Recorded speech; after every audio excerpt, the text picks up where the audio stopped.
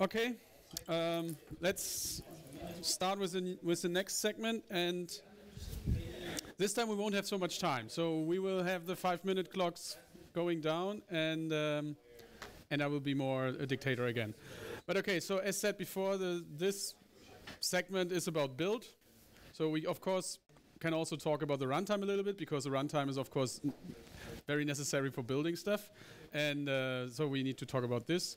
Um, but please do not talk too much about distribute and do not talk about orchestrate.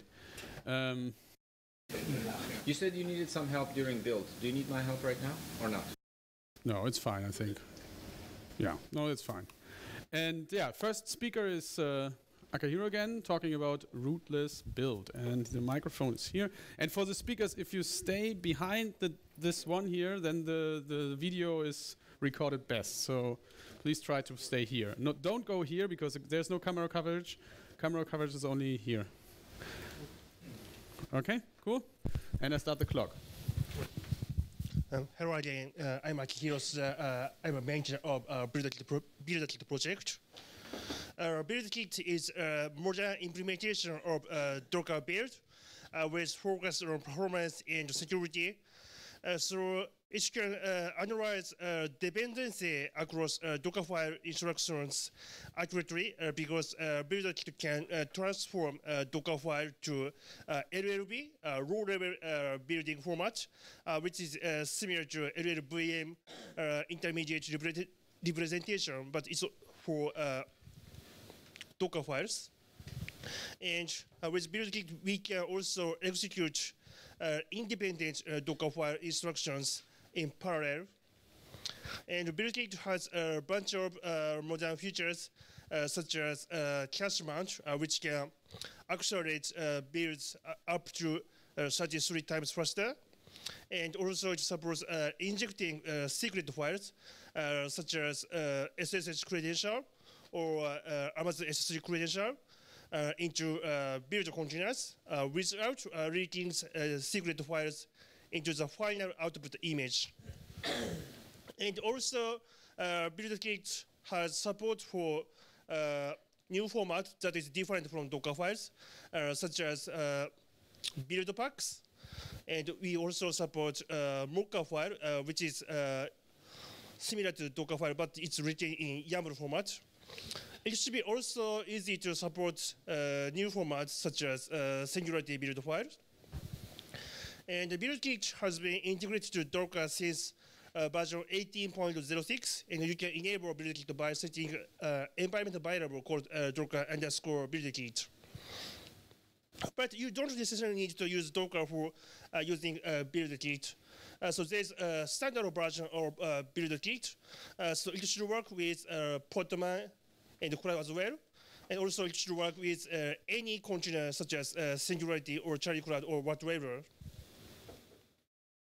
And uh, BuildKit uh, doesn't need uh, root privileges. Uh, so we can uh, use uh, user namespaces for executing uh, Dockerfile run instructions. And inside user, user namespace, you can gain the fake root privileges. so you can execute apt-get or yum or any package manager that typically needs root without real root. And BuildKit uh, can produce, uh, of course, Docker image archive and also OCI image archive or uh, just raw classic tarball. so the output image is compatible with whatever uh, so you can, of course, use Docker. You can also use Podman. You can use, use uh, Singularity, uh, Charliecloud, or whatever. And you can also execute uh, BuildKit uh, inside uh, container. this is good for uh, CI/CD uh, on Kubernetes. And for Kubernetes, uh, you don't need to tweak the security configuration. But at least you need to disable seccomp and AppArmor because uh, BuildKit needs to uh, nest containers on the top of the BuildKit container. And there's also a very similar project called Kaniko uh, by Google. Kaniko is uh, similar to BuildKit, but uh, Kaniko runs as the uh, root uh, in the container. uh, but uh, Kaniko is unprivileged. Uh, that means uh, you don't need to disable seccomp and AppArmor for uh, Kaniko container uh, because uh, Kaniko doesn't need to uh, nest uh, containers on the top of the Kaniko container itself. Uh, so uh, Kaniko might be able to uh, mitigate some vulnerabilities that rootless BuildKit cannot mitigate, and actually vice versa. Uh, so uh, BuildKit uh, might be weak against some kernel vulnerabilities related to uh, user namespaces, and Kaniko could mitigate such kernel vulnerabilities. But on the other hand, Kaniko uh, might be weak against uh, runc vulnerabilities, uh, which could be uh, mitigated by uh, rootless uh, BuildKit. That is the difference. Yeah, that's all of, of my talk. Perfect. Okay. Next up, we have Valentin again.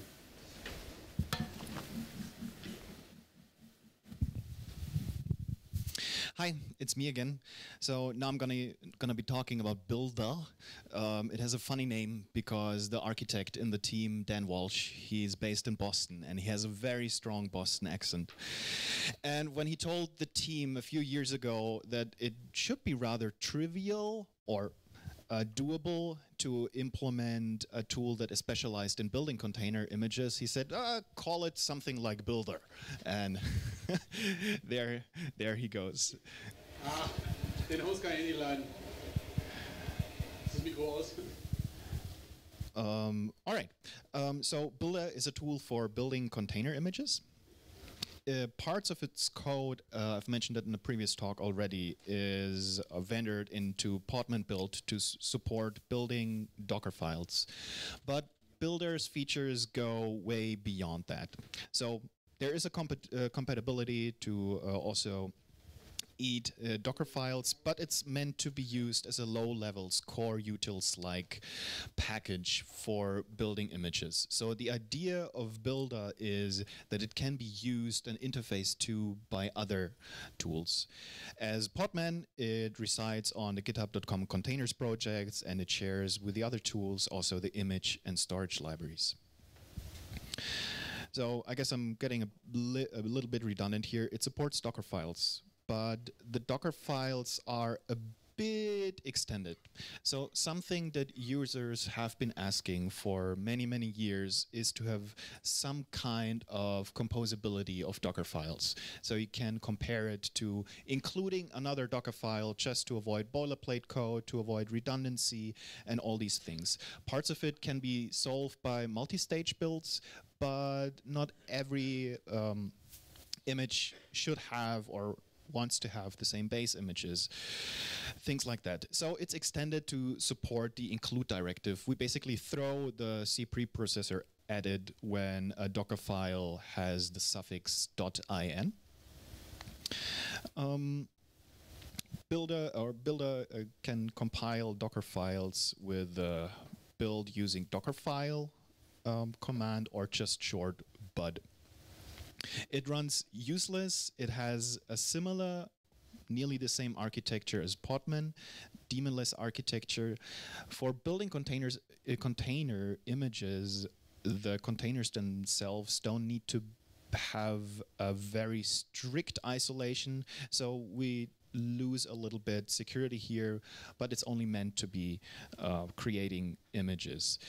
It's also easy to integrate into Kubernetes pipelines. First, because it's a simple tool, it's just a process you start. It can run rootless, and there are also official images that can be downloaded from Quay. There are also images for Podman and Skopeo, but the ones for Buildah I find most, most interesting because it's a very common use case. So quite often the question comes up, does Buildah have a scripting language, perhaps Buildah file, and Dan tends to joke, yes, it's called Bash. So the ultimate scripting language of Buildah is what's already on the host. As I said before, it should be used as any kind or just as a low level interface to do whatever you want to do. It's very unopinionated if, if you want to.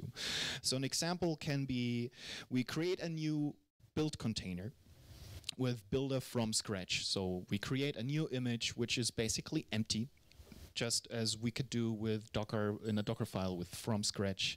Then we mount the build container, I was mentioning that in a previous uh, talk before, that we can mount the root file system of the container on the host, and then we can manipulate things there.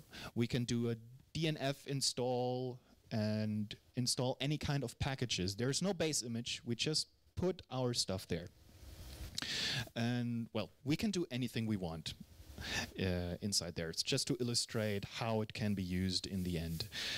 After buildah unmount, so we unmount the root file system from the host again to not leak any mounts, and then we can commit it and have a new image. This is basically how, or very short example of how we can use Buildah to create images. Similar to Docker, we have the project upstream containers buildah. We have a buildah channel on Freenode. Feel free to join. There's also, I guess, since Monday, a dedicated mailing list, buildah at listsbuilder.io. Buildah.io, you can find um, the website there. It's mostly mostly blogs or links to to blogs on different resources, maybe the Red Hat blog, the SUSE blog, um, opensource.com, yada yada. The demos can also be found there. And just as Podman, it's available on most Linux distributions RHEL, Fedora, OpenSUSE, Manjaro, Gentoo, Arch Linux, Ubuntu, and also Debian. With the, the Debian packaging, I still have a minute No. or so. No. Oh, okay. Then I talk later about the Debian packaging because this was a really big adventure. Thanks. Cool. Thanks, Valentin. And I just sti- stand up and sit there, so that's the the trigger that your time is up. Then, right? Okay. Cool. I'll, I'll be I'll be quick. I only I only want to actually really touch on a few things. So switch on the mic. Better.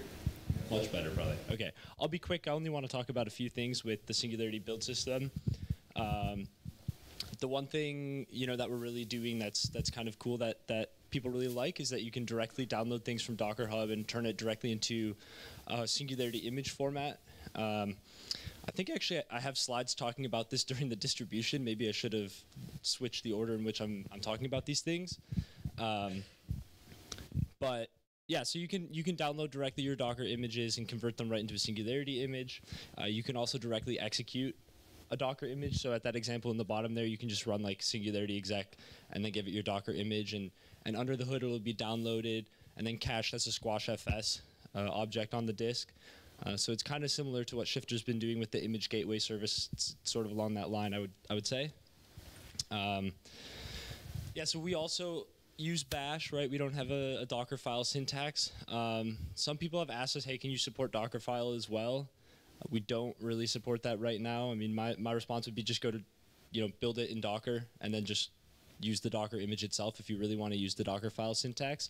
Uh, otherwise, you can do pretty much anything that you need to do with with just shell script, like you know, run your apt-get installer, your yum installer, whatever it might be. Um, oh. Yeah, and then the other thing that that's actually relatively new in Singularity, this is just released um, two months ago, I think. Ian, correct? Two months ago. Yeah. Yeah.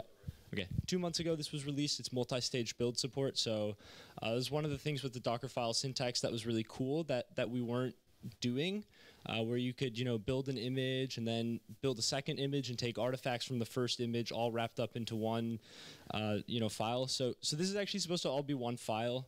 I just ran out of space, so it's it's a left side and then the right side is a continuation of the file. Um, and then in the August timeframe, we're also going to be introducing encrypted containers. Um, and so we're going to be introducing a way to build an encrypted container and then uh, you know generate the or create the passphrase rather for that or the key or, or you know however that's going to look. Um, but I'm not fully sure what that'll look like yet, so I can't I can't really talk about the specifics of how that's going to happen, but expect encrypted containers in like August. That's all I have. Awesome. So I can steal the two minutes of you. Oh. now I will start the timer for me as well, so I'm not as dictatorish. Okay, so I would like to talk about, and I, I, this is kind of what I would like to talk about here in this section is that if you have um, different images you want to use for different hardware types. And this is an example from BCG here, from Boston Consulting Group, from DockerCon last year, where they showed off how they built their MI and uh, AI images, ML and AI images.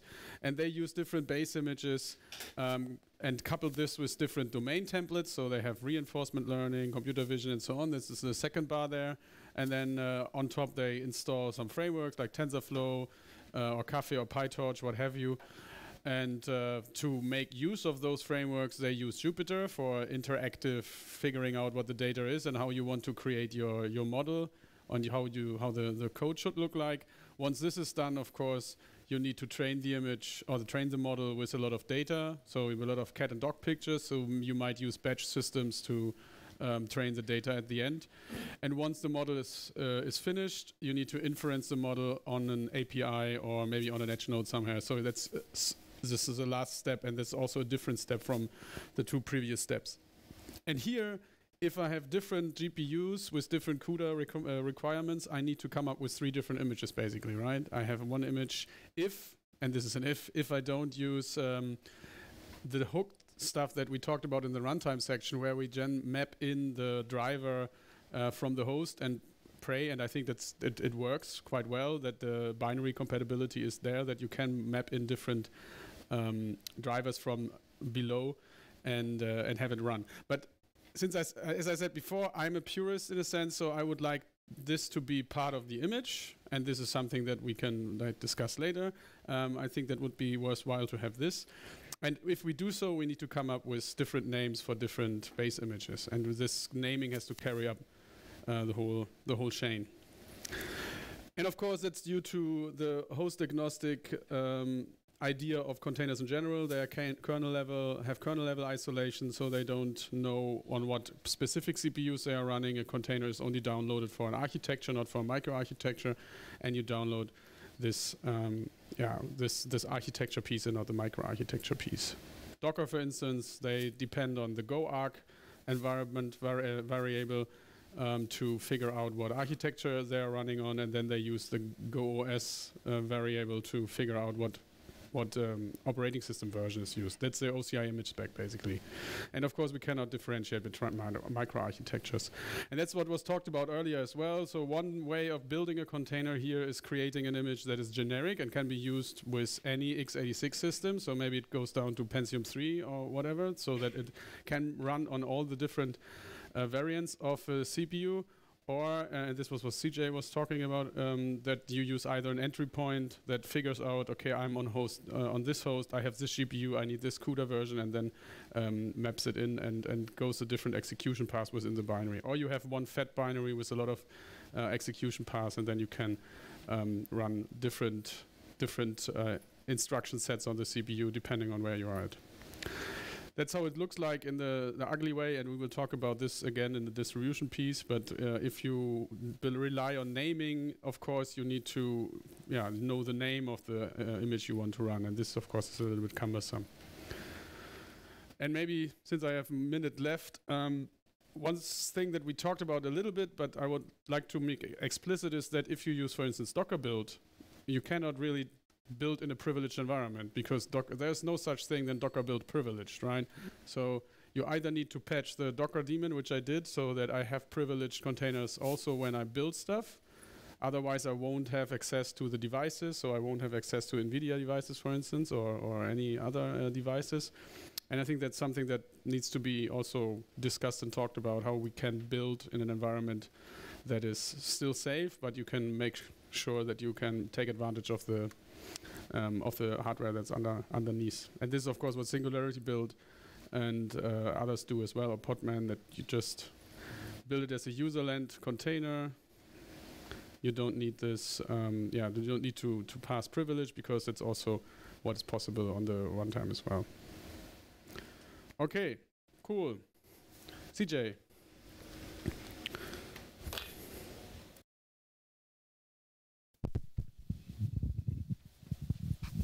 Thanks. I'm going to talk next about something that we found to be particularly useful just at a really practical level in helping to build containers. Oh, yes. How wide does it go? All right, great. Can't walk around? Okay, so I don't think there's any need for this audience to motivate people on using containers. Um, but when I started first started looking at this, I gathered a bunch of usage models, and I found that there was a lot of kinds of things that I'd never thought of before that I hadn't anticipated.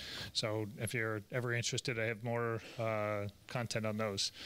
So. Uh, how many people have uh, handwritten a Docker or Singularity file? Okay. And uh, think back to the first time that you did that. And think about your experience of even trying to do something with OpenMPI. Um, you know, which which way are you going to add MPI to your container? So uh, if you look at this, you can. There are lots of different versions of this that you can use. Uh, there are param- different parameters that you can pass to a configure. You may wish to control the environment uh, that relates to MPI. Uh, you can do some things that are simple, um, but that uh, you may get a wrong version that, for example, isn't CUDA aware. Uh, you may have built this thing with a variety of different kinds of compilers, and you're free to do horrible things with respect to layering, which will give, layering, which will give you bloated container sizes. All of those things are wonderful options that are available to you. You may wish instead to be able to take a little bit more of a disciplined approach and enjoy the benefits from the broader community. So we're uh, essentially doing uh, an open source effort to collect and codify some of the best practices in this space. So we want to make recipe file collection easy and repeatable and modular and qualifiable. So we want to make it so that uh, somebody can go and essentially create a recipe for a recipe and have an infrastructure behind this that will, whenever there's an improvement to the best way to do something, uh, how many grad students are here? Okay. Really? Okay. Um, uh, I can't tell anymore how young somebody is to be a grad student. They all, we all look, seem like they're the same age as me anymore. Okay, we have one at least. Um, so uh, we should be being embarrassed by smart grad students come, who can come up with much better ways of doing things than we can, right? And, and give them opportunities for notoriety.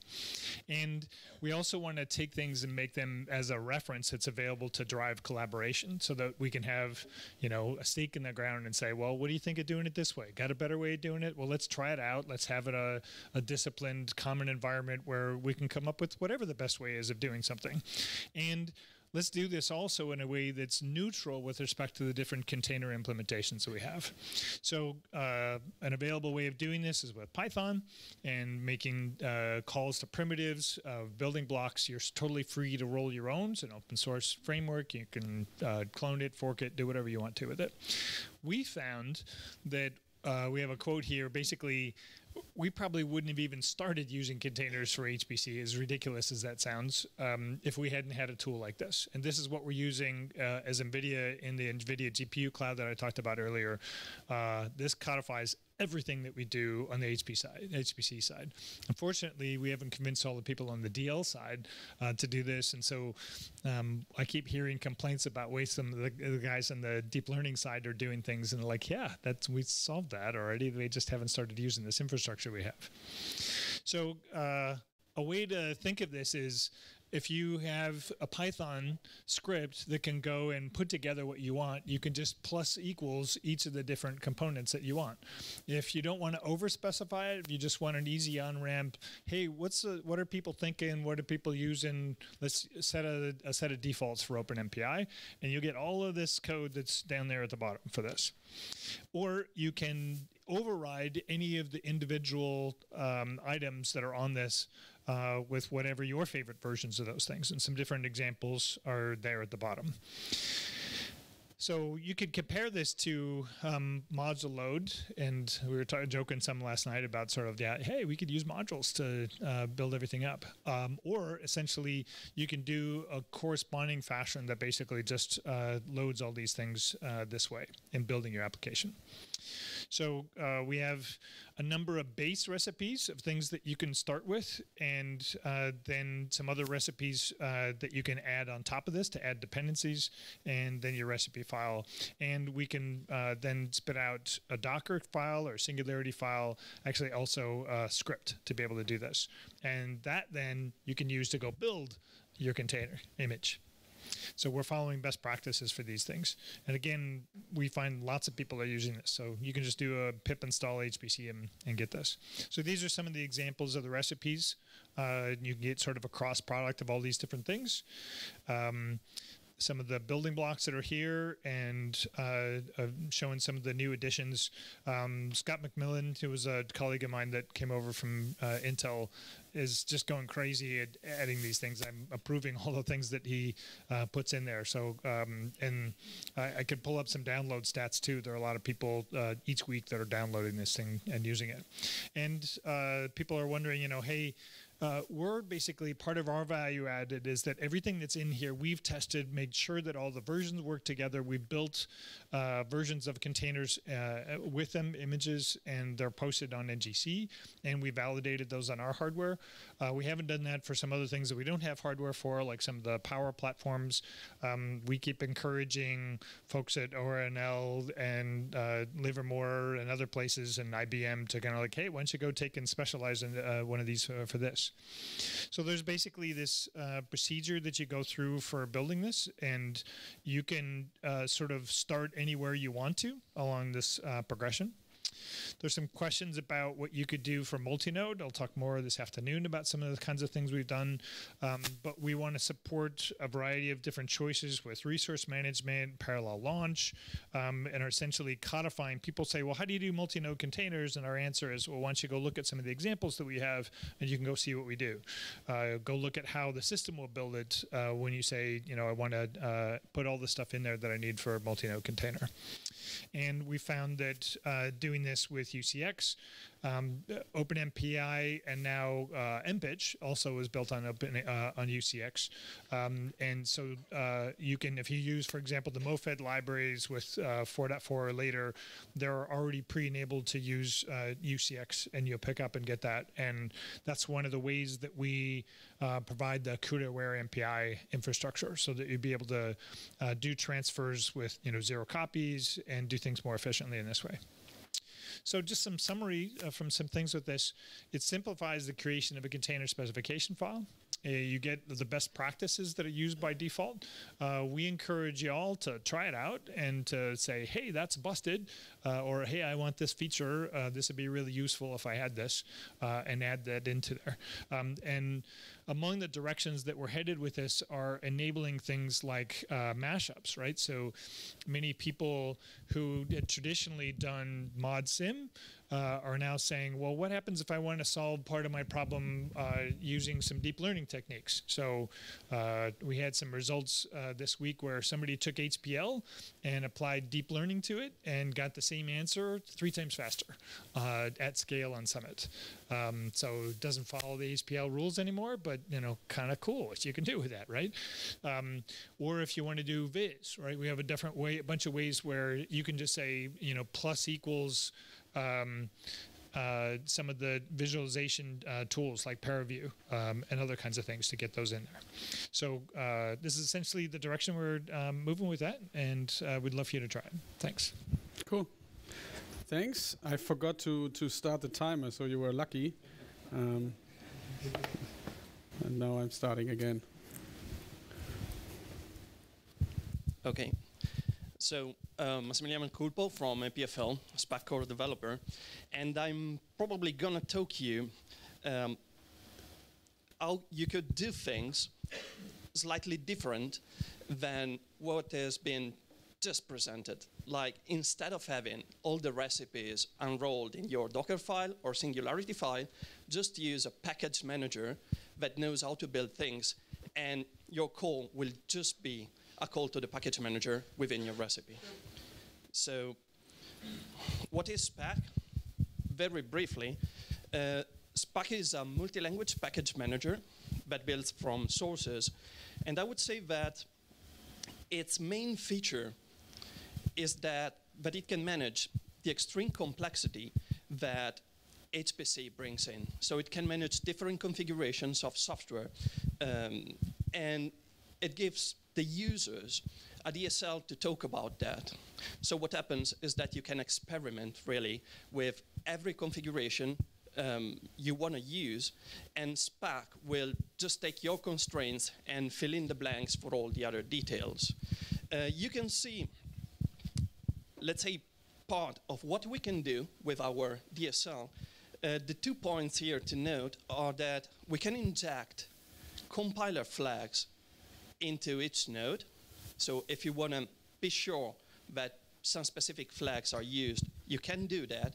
And we already have the notion of a target, uh, and we can already cross-compile for, let's say, high-end machines like Cray and BlueGene/Q.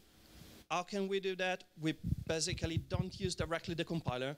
We just use a theme wrapper, and we intercept compiler's call.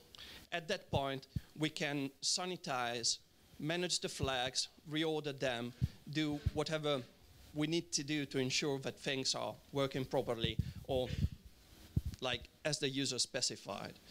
And that's what we can do right now.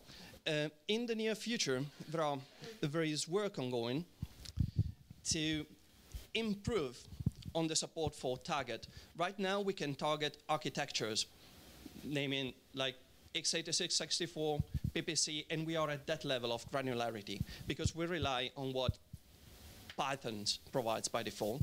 What we are working on, you will see the pull request there, is a finer uh, granularity where, where we can specify uh, the microarchitectures like Skylake, Ice Lake, Cannon Lake, and we, uh, where we can also have a better auto detection uh, of the host microarchitecture. The idea is that you could build at that point those optimized images Christian was talking about. If you say, I want to build something for target Skylake, you will be ensured that minus march equals Skylake will be used at compile time.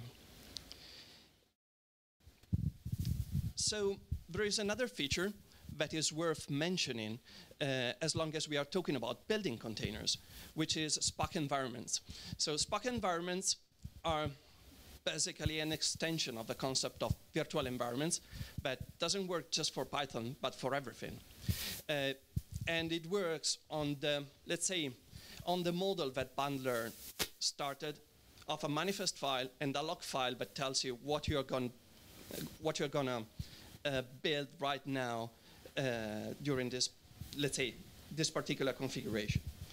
Um, the idea is that you can have a configuration file, like the one on the left, where you specify what you want to build into your container. And then, when you build your container, that should be as easy as copying that configuration files that contains everything you need to know about your environment, and then just saying Spack install. Spack will look at that and will proceed accordingly. Um, another thing, you see that there is some sort of machinery to do the plumbing to have Spack available, uh, but we have experimental Spack containers for Docker and soon for Singularity, so there will be no need to, to replicate the setup from one container to the other. You could just use some uh, Spack-based image. And finally, features and improvements that are being discussed right now in the community.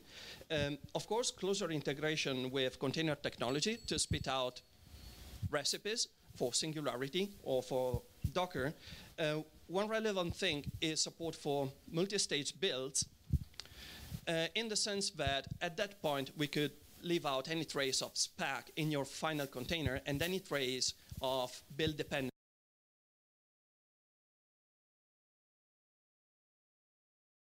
Thanks, Massimiliano. And then you can just stay here because now we have the the panel discussion. And all the other speakers, if you could join here as well, it would be awesome.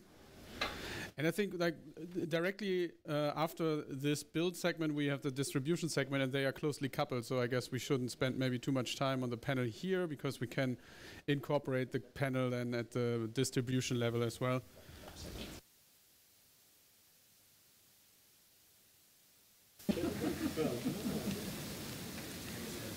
There's also another one over there. I'll start with the first question. Yeah? Of course. Um, th- CJ, you can help me on this one. Um, what do you do for products that are licensed? So, for example, some CUDA libraries may require a license, and the, the plus equals directive may need to pull that. How, how does that really work? Yep, uh, so another example would be the Intel compiler. Sure. So the Intel Ah, damn. compiler is one of the things we hear, but I don't think Intel would be terribly pleased if we uh, took our version with their license and distributed that to the world. CJ, can I stop you for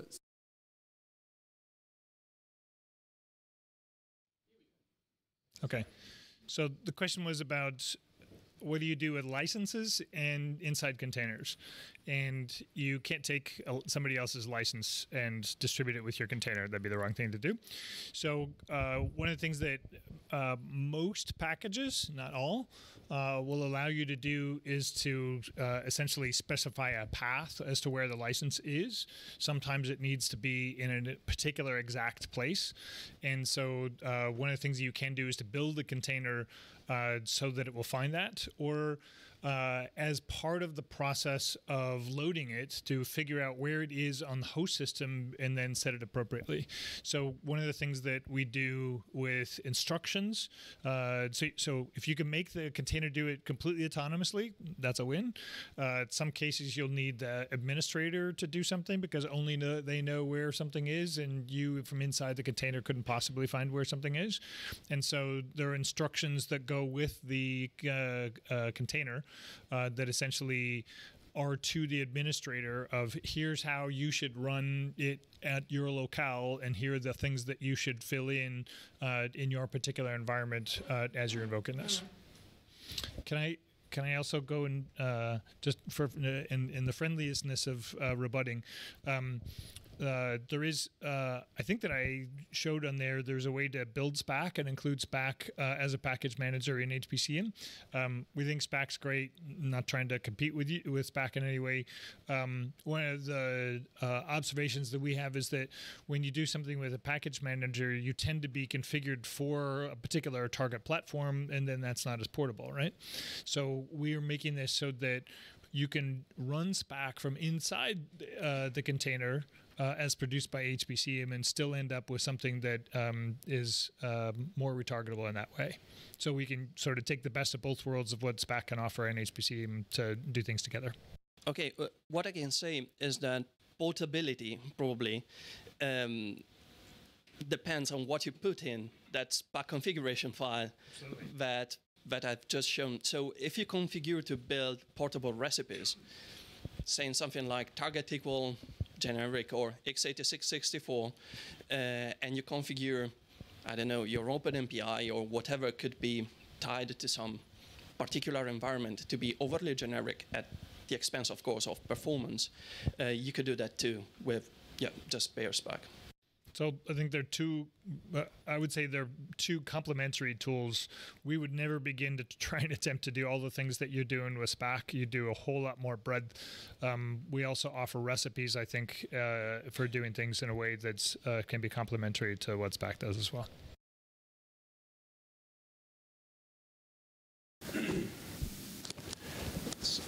So let me think. I, the one thing I maybe this initially directed at CJ. So maybe one question I had is, do you know with the NVIDIA, like the CUDA compiler stuff like that, um, you don't have to have a GPU on the system in order to have it generate code, correct, or generate binaries? You must have the driver installed, but I'm pretty sure that you can do that on a system that doesn't actually have a card. Yeah, I think that one thing we could, we need more of that. I think from the vendor community is. Uh, is sort of abstract the build process. It's kind of like cross compilers taken to an extreme, right? And where you can just say like these, imagine I was on this set of target systems, produce code for that, you know, produce uh, binaries for that. And uh, that way, we can, if we're going to move more towards these kind of build farms or something like that, we, there's going to be cases where we have to maybe have the, the same core architecture, but we don't want to necessarily have to have every variant of it or, you know, have uh, every GPU variant that we need or something like that, right? One practical example of that. Yeah. Do we, is there anybody here from uh, ORNL? Okay, so uh, Oak Ridge National Labs um, in Knoxville, Tennessee. Um, one of the DOE labs uh, runs into this issue, and because they have essentially uh, power-based platforms, and um, many of their login nodes are x86, and those are ones that are commonly used for building stuff. But if you want a container that's going to go and need to run on it, there are some things that need to be on that platform when you do it, and they the way that their data centers set up you can't just you need allocation time to be able to get on one of those machines and you can't really use that for building. So they have uh, just recently created a builder service where it's just as if it's in the cloud that has appropriate resources behind it where you say hey here's the stuff i want to do could you on a native platform build the stuff that you need to do for that particular platform and give me back a container that i can then go um, put in a, a job scheduler and make run Yeah, that's exactly, I think, you know, we're going to need more of that as we But move this, forward. this ties in a little bit into what Michael said Yeah. because because you you guys you, you said that once you build the singularity file, right? Yeah. Once you build the singularity file, then you, as, a, as an afterthought, you collect where you build it on because you assume that it was built natively, and then you try to figure out what Yeah. the native parts is. And what you just said is more. We define it in the beginning. We say, okay, this is a target I want to I wanted to build for, and Yeah. I don't need a And it's specific more thing. about, because sometimes your build resources may not match all the different runtime environments that you want to be able to execute on, you know? Hmm.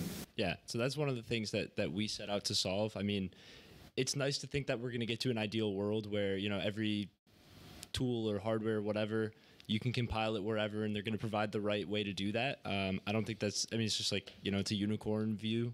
Um, so so that that was a, a big problem, and so that's what the build service is intended to solve or help solve, is so that you can set up you know a set of resources on your site specifically dedicated to building container images on the target platform that they're they're set to run from, um, and then you can just go and it looks like you're doing it in the cloud, um, but it but it's you know it's all happening on on the right platform.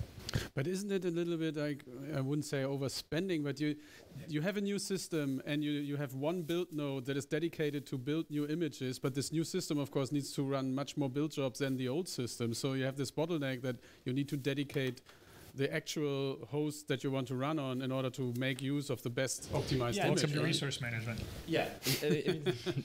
Yeah, okay. So you could theoretically, I mean, you know, I don't know how how we're exactly deploying it and managing that, right? But you could theoretically tie it in so that you're asking for partitions or, or whatever. Um, but it's providing the ability to go do that in an easy, convenient, comfortable way without having to go through the the steps to to like manually try and figure out how to do that, right? But this is in, a, in the context of a site right, where you can Yeah. portion up something. And if you are like, I create a startup and I want to create a tool that is highly optimized for certain architectures, and I need to precompile the images in order to make it available for my customers because I cannot go to the customer and say, just give me one node for a day and I will create optimized images for you. So, and I know, I, I agree it's a unicorn view, but I like this unicorn view. Maybe, maybe to some extent, maybe we can have some some pieces that we can like, like, like Massimiliano says, uh, showed with with the Skylake approach. That at least we can like optimize for maybe not for everything, but for the 80% of stuff that helps. So, so that's the the cloud side of things that that we're also building. So you, you know theoretically, okay, right now it's all x86 instances when you're doing a remote build in the cloud through the you know the cloud website.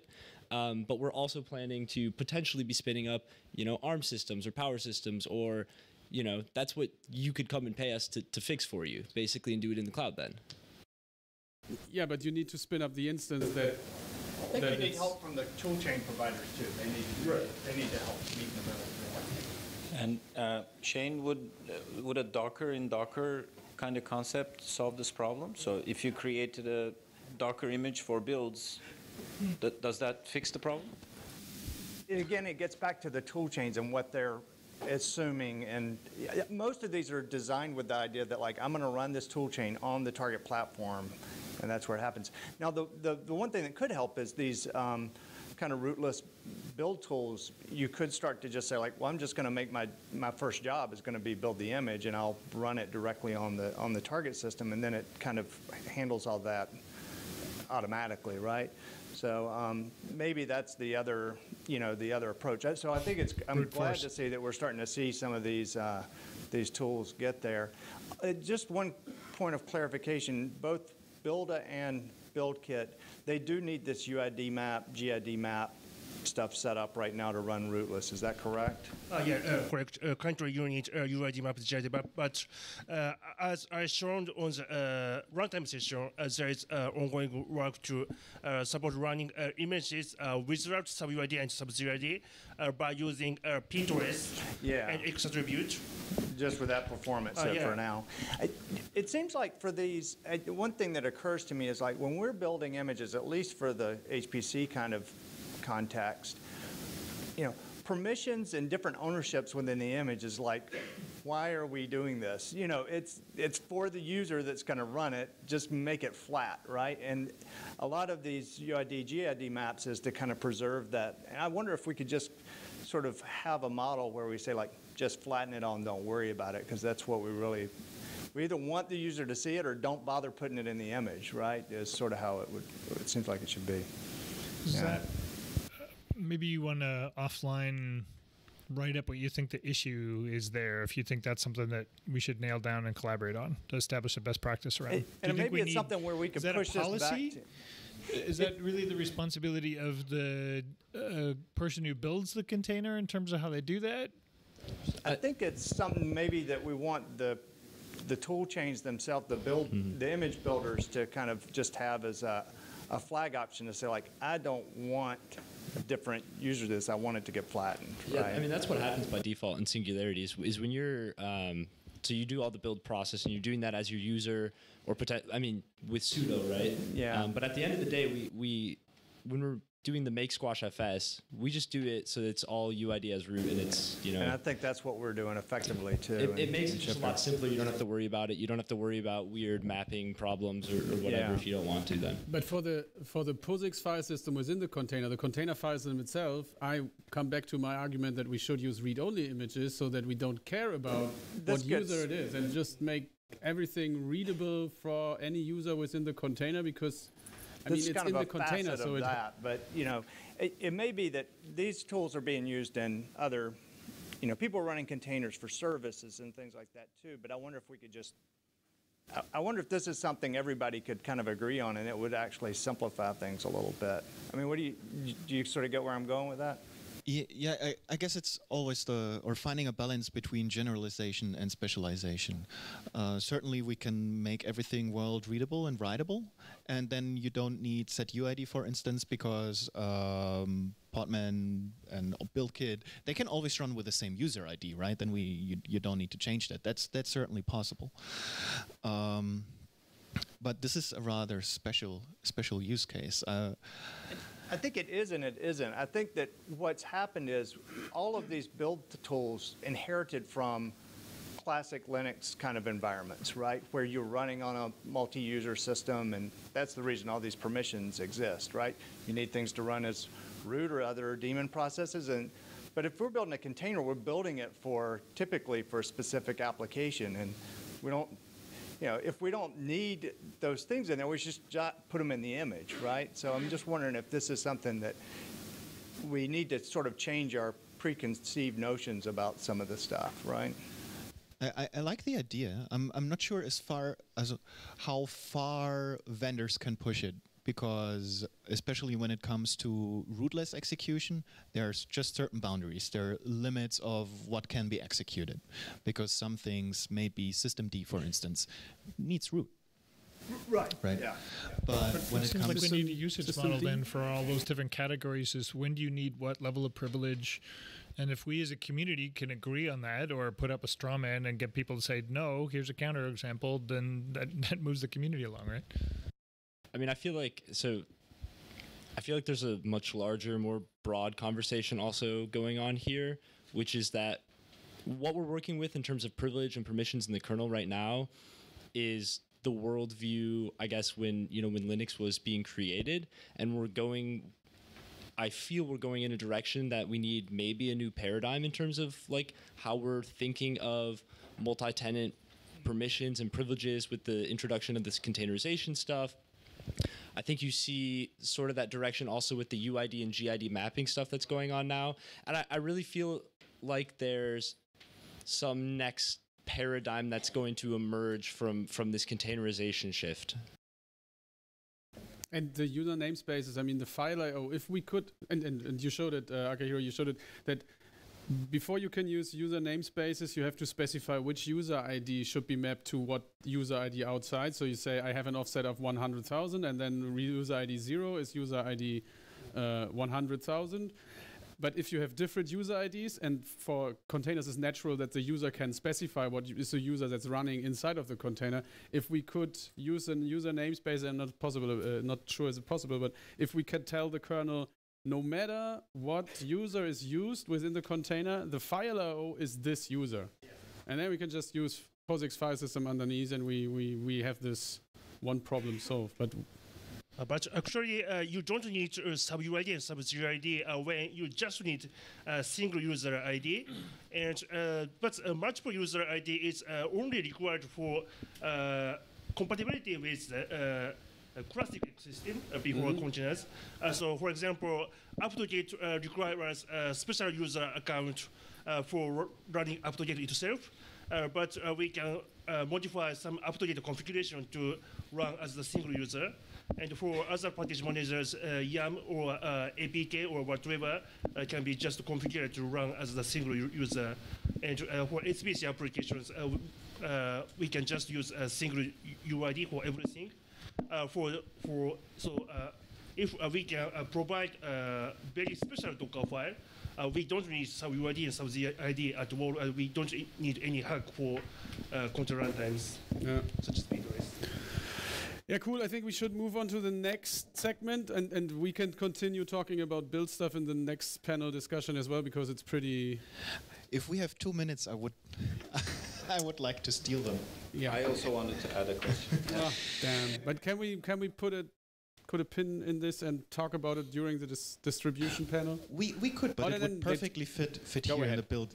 Thanks thanks a lot, and, and sorry for, for stealing the time. Uh, no, Uh, no. Just to chime in the conversation we had before, uh, when it comes to specialize, uh, specializing builds and tailoring them to architectures and let's say uh, all the different platforms we have. What I see in the containers ecosystem is that a lot of things are just being repeated what distributions do for decades already. Um, so when we look at a, at a normal or common Linux dis- distribution, it could be any. It's being offered for different kind of architectures, um, especially when it comes to ARM. Everything is so different, right? There's no one single ARM. I guess there's dozens of different ARM architectures or platforms in the end that are incompatible to a certain degree. So they need to be compiled in any case. And there are open source solutions already. When we look, for instance, uh, to uh, at the open open build service uh, from OpenSUSE and SUSE. This is something that already allows to build container images. There is a matrix that can be configured for ARM, S390, what, whatever we like. So in, in theory, those could be extended to support a little bit more than that. Also different platforms, Skylake, yada yada. Um, and can just be or could theoretically be be reused. So uh, this is basically. Uh, I'm not sure where I'm going with it. I'm just trying to say that looking at what already exists can be really really helpful. For instance, all OpenSUSE images are built exactly like that. And the cool thing is there is already dependency management and resolution. So whenever a package dependency changes, may be, for instance, GCC, well, the world must be recompiled, and this is exactly what happens there. But maybe to this point, the, the the thing that we see, I think, is that the non-HPC enterprise workloads they just don't care about this recompilation thing, right? Because they just download Nginx and they don't optimize Nginx for Skylake. And if we could, like, maybe approach them and tell them, okay, you can get something cool from our side of optimization for certain hardware architectures, and you have a zoo of hardware nowadays anyway. So maybe we can just lay out the bait and say, okay, look, we can optimize Nginx for you so that it's much more performant. That's something that's not really picked up in the non-HPC world, or right? And I think that we may be able to like draw them in by just putting out the bait and, and say we can help you Yeah. with that and then maybe Th- but I that's also I'm unicorn view here as a host I Oh, guess. same from same from my side. I'm, I'm just at the moment I'm blindly saying that's super easy to extend the metrics. I have I have no idea about the the difficulties in specializing the builds for HPC. So I'm basically just trying to say that I see similarities in the problems, right? And in the end, it's about how we can abstract the problems to make it apply to many use cases. yeah. So guys let's move on to the next segment. Thanks uh, for this panel